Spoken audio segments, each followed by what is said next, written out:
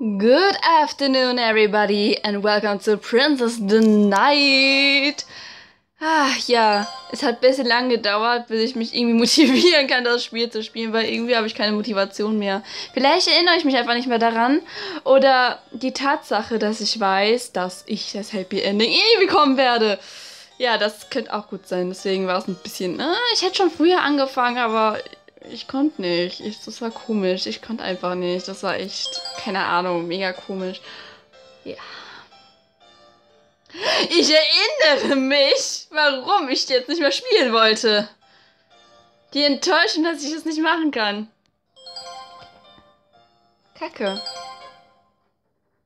Kacke. Es ist Kacke. Ich bin sauer. Es ist Kacke! Ich wache alleine auf. Ich hasse euch. Ich hasse euch. Ich drehe meinen Kopf zur Seite, um zu sehen, dass Evan verschwunden ist.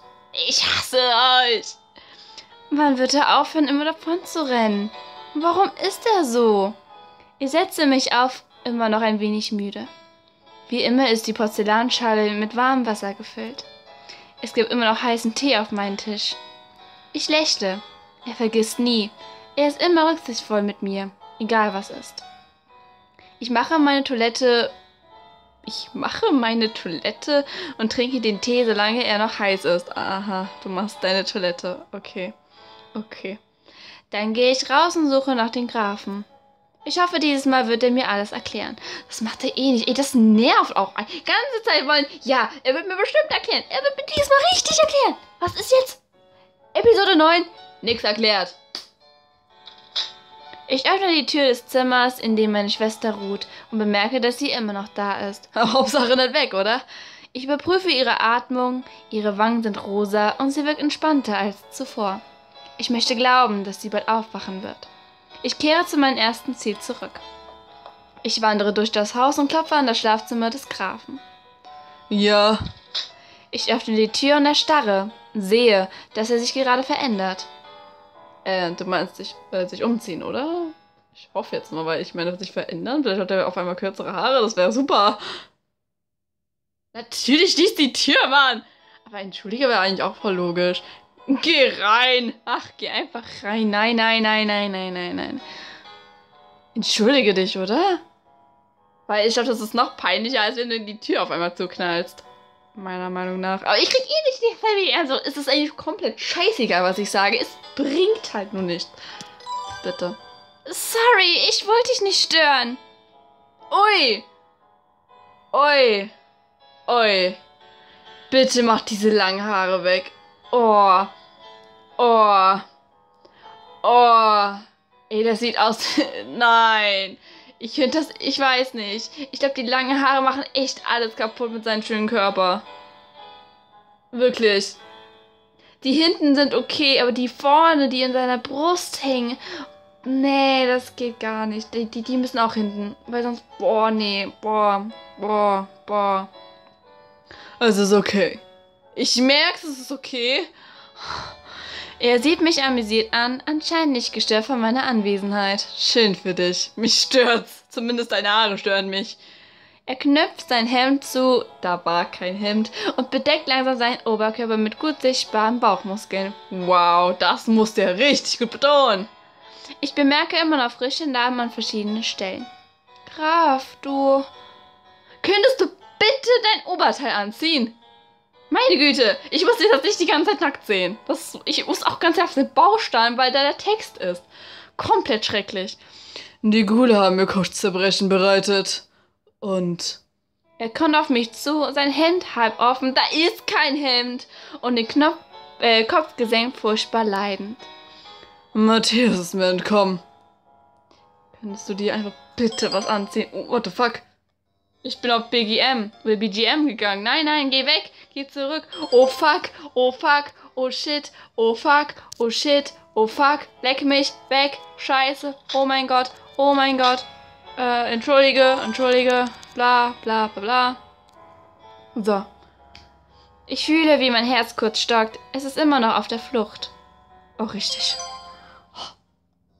Ja, sorry, was soll ich denn sagen? Soll ich die Tür zu? Ja, komm, hier, kriegst einen Finger. Das kann doch nicht wahr sein. Oh, ich hab doch gesagt, es läuft echt scheiße. Ich bin frustriert über die Antwort des Grafen. Aber ich kann ihm nicht vorwerfen, dass er diesem Mann entkommen lässt. Ich selbst kann nichts tun, um zu helfen. Wenigstens hast du das erkannt. Ich seufze und schaue zu Klaus auf. Du hast versprochen, mir alles zu erklären. Das macht er nicht. Alles? Nein. Aber ich werde dir über dich reden, was du wirklich bist. Das hättest du in ein paar Episoden auch noch machen können, ne? Ich wollte das nur nur so andeuten.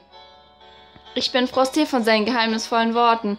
Ey, die sind alle hier geheimnisvoll. Das, das kannst du auch nicht abstreiten, ganz ehrlich. Die sind so komplett behindert. Ich weiß nicht, was mit denen falsch ist, aber die sollen sich echt in den Kopf, in den Boden vergraben gehen. Ey. Er bittet mich, im Rosengarten zu warten, bis er fertig sei. Ich finde es schwer, dort zu sein. Ich finde es schwer, dort zu sein und halte es nicht für Verschleppung. Was? Die Sonne ist hinter schweren schwarzen Wolken versteckt. Die Blumen sind wegen des Mangels an Licht kaum geöffnet, aber trotzdem sind sie wunderschön. Eine leichte, feuchte, kühle Brise streichelt meine Wange, als ich den Grafen ankommen höre. Er lächelt sanft und streckt seine Hand aus. Er führt mich auf einen feierlichen Spaziergang. Diese Stille bringt mich um. Neugier brennt meine Lippen. Nach einer Weile sitzen wir auf einer Marmorbank.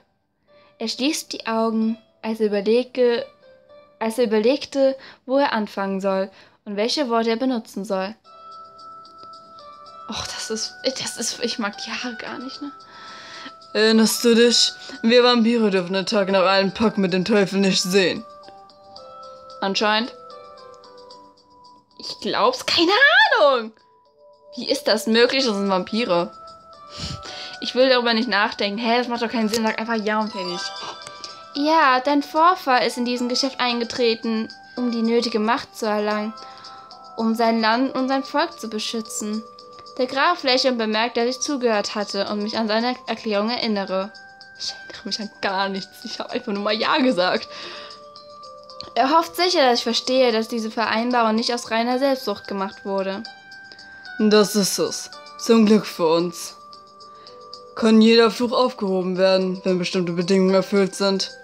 Einige Bedingungen? Der Graf rutscht auf mich zu, greift nach meiner Brust. Ähm, Abstand vielleicht? Er legt seinen Finger dorthin, wo mein Muttermal ist. Ähm, Abstand bitte? Eine dieser Bedingungen bist du. Das Mädchen der tätowierten Rose? Wie keuchend schaue ich den Grafen an, als ob ich gerade zum ersten Mal erfahren hätte, dass die Erde rund ist. Hauptsache, das war richtig. Hauptsache. Mit seinen Augen, die in meinen starren, fährt der Graf fort. Leider kenne ich nicht alle Details. Mein Vater starb, bevor er mir alles erzählen konnte, was er darüber wusste. Aber er wird gesagt, oder es wird gesagt, dass ein Mädchen mit einem rosenförmigen Muttermal die Dracula-Blutlinie entweder retten oder sie verfluchen kann. Aber wie könnte ich... Ich hab dir gesagt, ich kenne nicht alle Details des Prozesses und ich denke nicht, dass meine Vorfahren sie auch gelehrt haben. Sonst wären wir längst von diesem Unglück befreit worden. Ich greife mal, äh, mal, ich greife meinen Arm gegen meine Brust.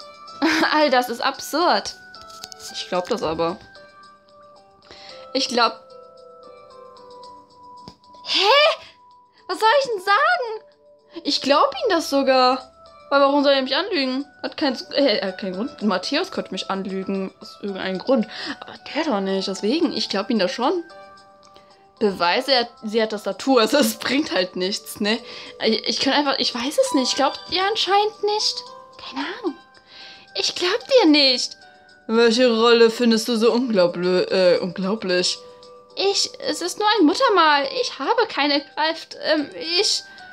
Der Graf sah, legt samt einen Arm um meine Schulter. Ich versichere dir, dass dies die Wahrheit ist. Ja, ach nee, das habe ich ja auch gesagt. Matthäus hat auch deine Wichtigkeit erkannt und er versucht dich zu nehmen, dich sogar zu töten. Ich schaue weg, unfähig äh, diesen Hoffnungsschimmer in den Augen des Grafen zu sehen. Aber wenn ich wirklich das Mädchen bin, dann kann ich dich vor deinem Fluch retten. Warum greift Matthäus mich an? Er hasst meine Familie abgrundtief.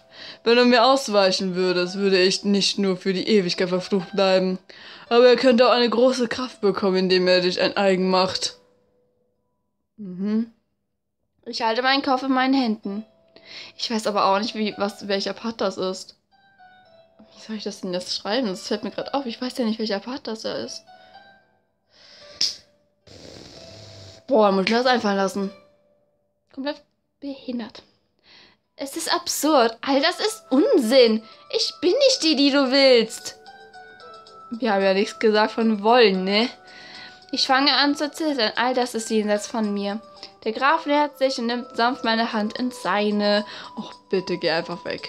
Ich drehte mich langsam zu ihm um. Er ist ein paar Meter von mir entfernt. Hauptsache ein paar Meter ist ein paar Millimeter, ne? Sein Atem streichelt mein Gesicht und seine blauen Augen durchdringen mich. Er wird rot. Respekt. Vom ersten Tag an hatte ich das Gefühl, dass etwas anderes an dir war. Er legt seine Hand auf meine Wange. Och man, nein. Ich hab keinen Bock auf so einen Kack. Ehrlich.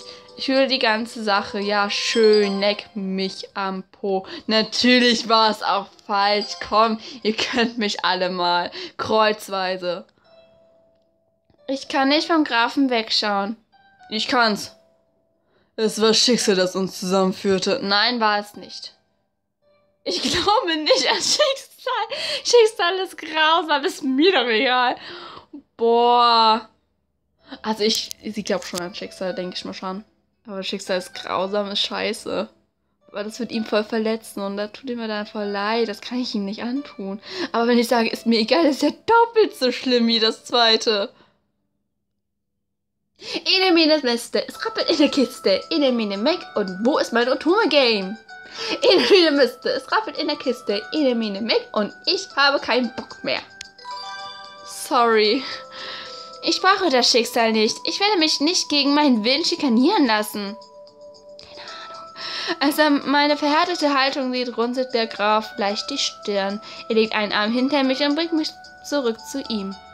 Du kannst diese gegenseitige Anziehung, die uns zueinander antreibt, nicht leugnen. Was laberst du? Bist du komplett behinderte Kacke?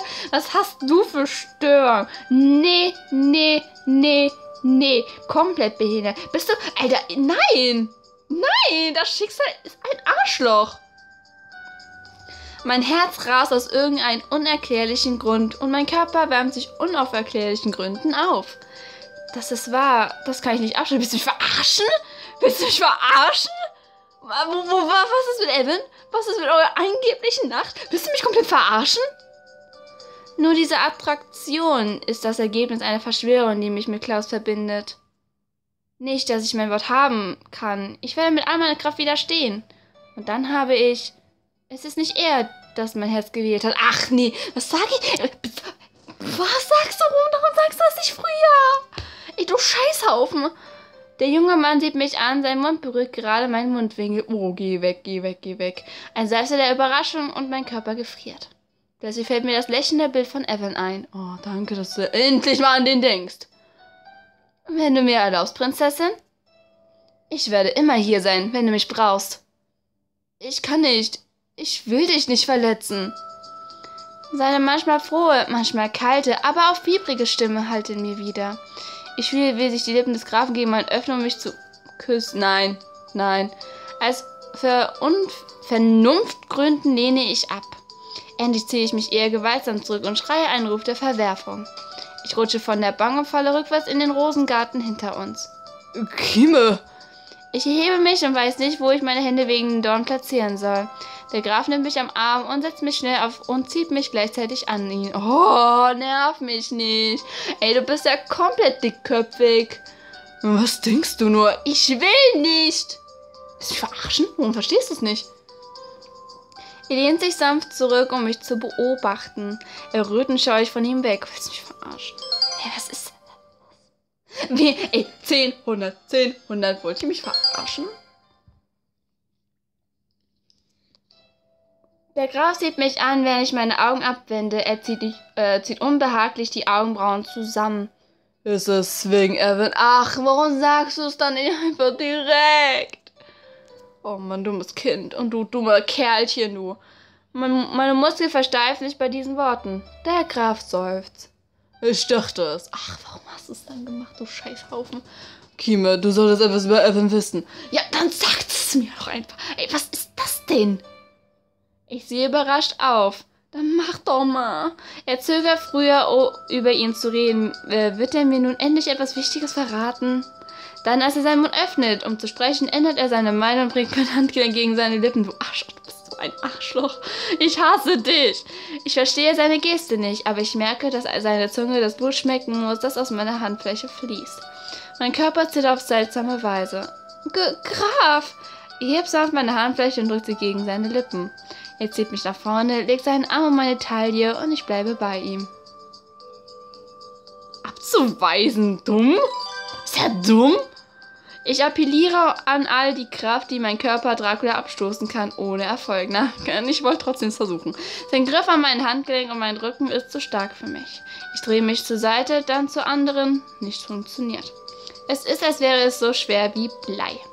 Er öffnet plötzlich seine Augen und krallt langsam meine Haut mit seinen Zähnen. Er bleibt stehen, um mehr von meinem Arm zu ziehen und öffnet seinen schönen Mund. Plötzlich stört, äh, stört ein Sturm diesen Moment. Graf! Danke, dass du auch mal auftauchst. Ich halte den Atem, als ich aufschaue. Ich sehe Evan. Er steht aufrecht wie eine Statue. Sein Gesicht ist leicht verzerrt. Ich rufe ihn, aber Klaus dreht sich um. Der Junge bekommt ein engelsgleiches Lächeln. Was gibt's? Ich bin beschäftigt. Das kann ich sehen. Entschuldigung die Störung, aber ich denke, einige deiner Würfe würden im Wald Norden, äh, nördlich des Schlosses erschossen. Willst du, dass ich nachforsche? Bist du dir deinen Quellen sicher? Ich glaube, ich hätte ihren Tod gespürt. Wir können nie vorsichtig genug sein. Der Graf und er schauen sich lange in die Augen. Es ist komisch. Hauptsache 50, ja? Ähm, das war's erstmal. Ähm, ich hoffe, es hat euch gefallen. Bla bla bla bla. Ähm, ja, was soll ich sagen? Ich bin angenervt. Mit dem ganzen Scheiß.